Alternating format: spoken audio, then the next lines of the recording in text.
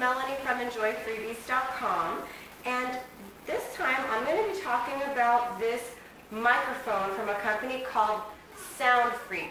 Now it comes in this little vinyl bag and the reason I decided to get this microphone is because as you know I make a lot of YouTube videos and I do reviews on products so I really wanted to have a microphone so I could narrate through my videos so I thought this one might be a really cool option.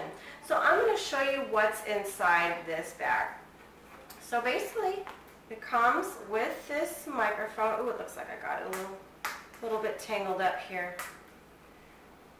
And it's on this little clip piece here that attaches to your collar, your lapel, and there's a little uh, soft fluffy head on it like most microphones have.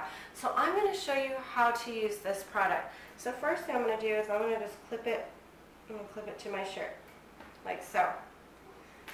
Next, I'm going to connect this to my phone. Now, I normally make videos on a, a regular camera, but my regular camera does not have an outlet for this. So I have to connect this to something that does have a microphone outlet. So I just hooked it up to my phone like this.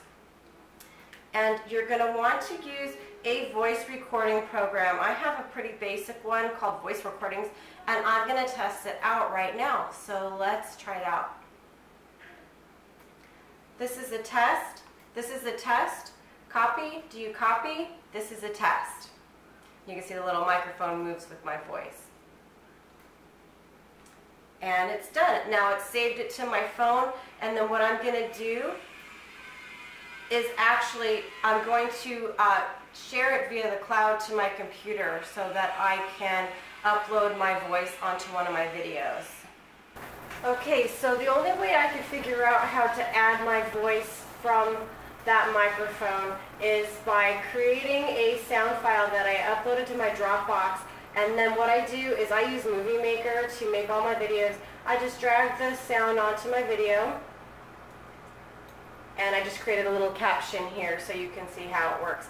And here's the sound file that I created with that microphone. This is a test. This is a test. Copy. Do you copy? This is a test.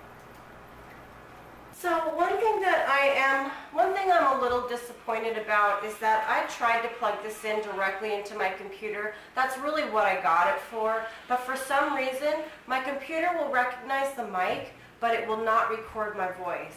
So in order to get around it, the only way I can do that is to do it through my phone, as you saw. It works. Um, it's not the most convenient way to do it for me, but it's better than nothing until I get another microphone. So I hope you enjoyed my product review. If you're interested in getting this item, it's from Soundfreak. I will put the link up on my video below. Thank you so much for watching.